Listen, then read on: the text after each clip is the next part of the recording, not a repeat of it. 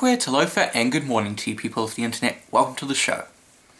So last week I posted the first of a three video series reviewing a three episode arc of Doctor Who. Uh, now last week I did my review of Utopia and if you guys haven't seen it already go back and watch it. Uh, description and uh, yeah, videos in the description. Uh, but here's a bit of a recap for you. Utopia was a decent episode, which saw the Doctor reunite with Captain Jack Harkness. Having been flung to the end of the universe, the Doctor helps a rocket full of human refugees reach Utopia, their final hope of survival. But it is discovered that charming Professor Yana, his head, is really the Master, a longtime adversary of the Doctor. After regenerating, he steals the TARDIS and goes back in time, leaving the trio at the mercy of the feral future kind.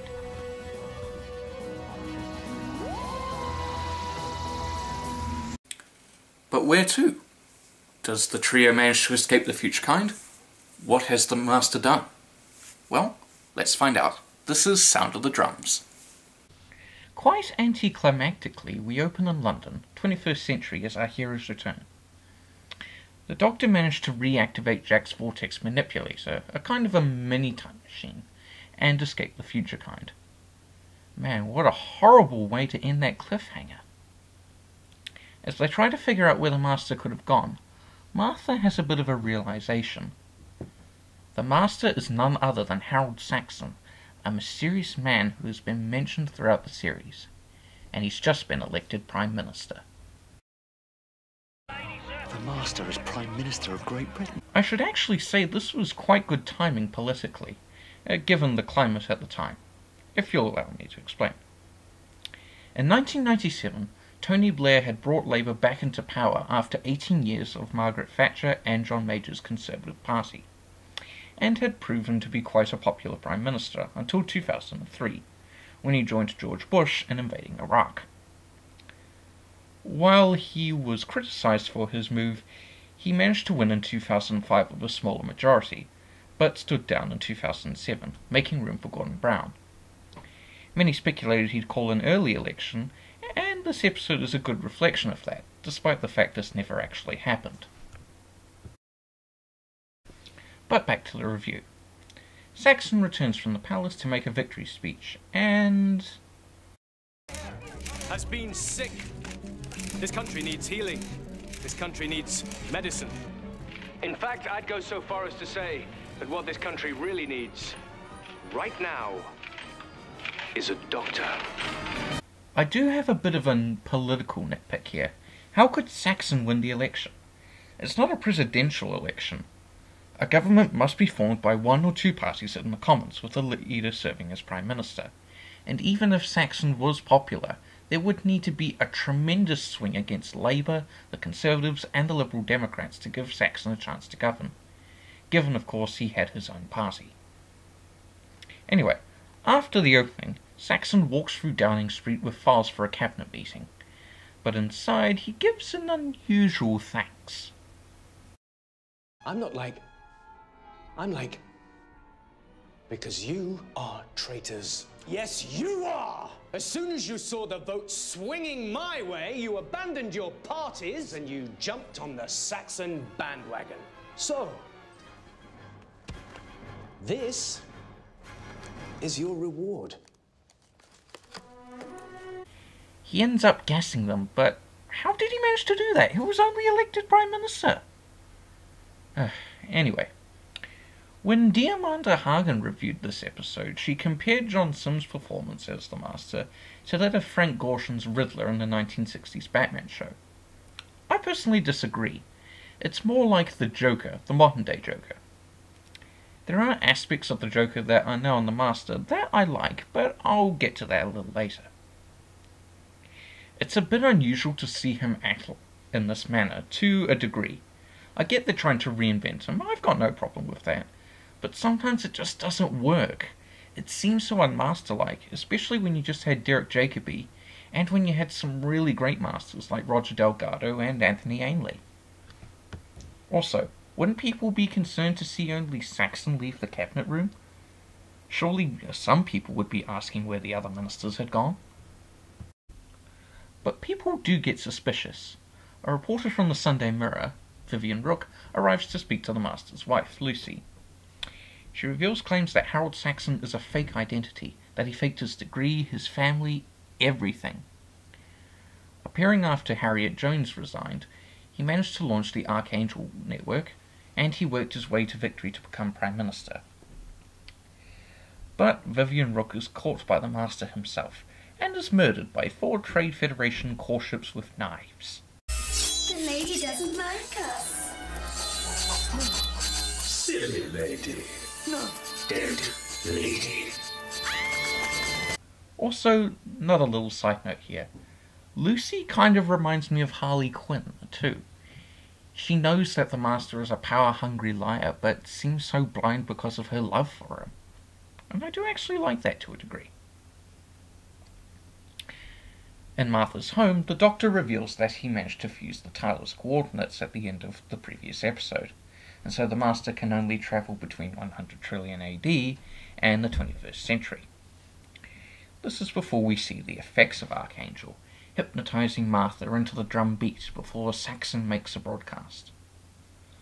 After reminding viewers of the past alien invasions, including Big Ben and the Slitheen, the Sycorax, the Cybermen, and the Racnoss, he reveals he has made contact with an alien race, the metal spheres from earlier, named the Toclafane.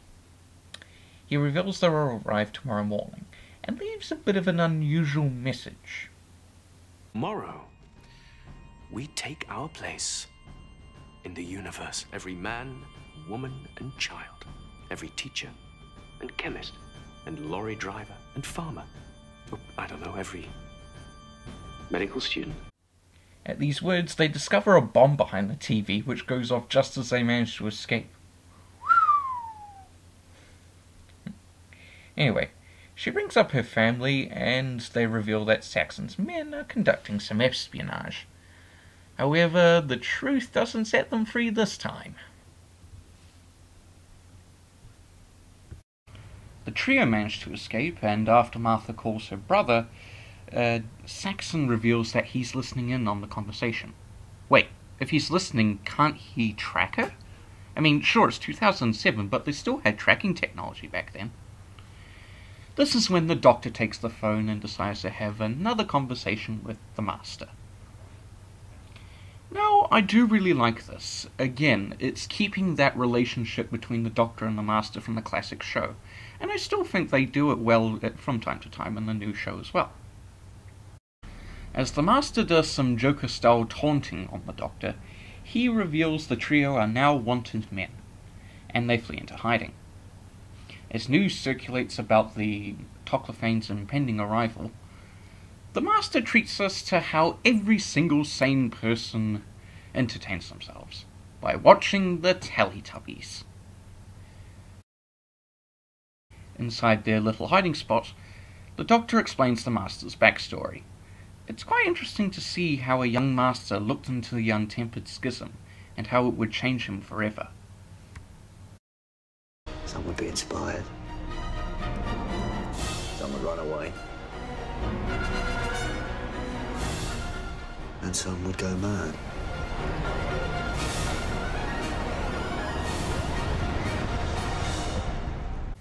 There are other origin stories as well, but I'm personally no expert in that field. Jack introduces us to the reformed Torchwood.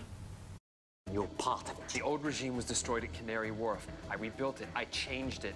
And when I did that, I did it for you in your honor. We discover the reality of Archangel, its low-level Time Lord telepathy, and the Doctor puts together a clever new invention, three TARDIS keys that makes them unnoticed, so long as they bring no attention to themselves. It's actually quite a clever invention on the part of the Doctor. Would be useful for navigating certain bases stealthily. But would it affect Daleks and Cybermen as well as humans? And of course, there's the customary the companion loves the Doctor but he doesn't realise it moment. Good grief, I hate that trope. The President takes control of the operation, which will be held on the Valiant aircraft carrier rather than in the UK. After we see the Jones family taken to the ship, we do get to see a bit of a parallel with Batman and the Joker and the Doctor and the Master and their relationship. Now that sounds like Torchwood. Still a good plan. He's a Time Lord, which makes him my responsibility. I'm not here to kill him. I'm here to save him. There's that connection. They're the yin to each other's yang, and I personally like this. It was a really good move on the writer's part. They arrive on the Valiant, revealed to be a magnificent Doctor Who version of the Marvel helicarrier, while everyone prepares for the arrival of the Toclafane. While the TARDIS is found, it's not looking so good. It's a paradox machine. Stop it. Doesn't I know what it's doing? Touch the wrong bit, blow up the solar system. Then we've got to get to the master. Yeah, how are we gonna stop him? Keep that scene in mind for the next video. When the Toclafane arrive, they don't recognize the President before Saxon reveals the truth. He's the Master, and he kills the President, capturing the Doctor and revealing his own laser screwdriver.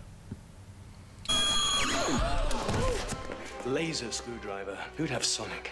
And the good thing is, he's. The Master brings up a previous episode and uses the screwdriver and the technology from that episode to age him 100 years. Gosh, those prosthetics are horrible. It looks like if William Hartnell made it to 100, or just a really bad makeup job. At two minutes past, the paradox activates, and down come the six billion Toclafane. On his orders, they kill one tenth of the Earth's population to subjugate them, as Martha manages to escape. The world has fallen to the Toclafane, the Master reigns supreme, and Martha is left on her own. End episode. Back when I first saw this episode as a kid, I loved it. I thought it was a great episode. Looking back though, uh, elements of it, but others not so much. The political stuff makes no sense, they have no idea how British politics work. The Master I still have some mixed views on, but I still like the writing stakes and some of the writing of the Doctor and the Master's relationship. It was pretty good.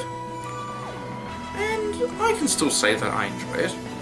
So, like last time, 7 out of 10. How does this arc all end? Well, you'll have to join me next time when I review Last of the Time Lords. So, until next time guys, goodbye. Harera.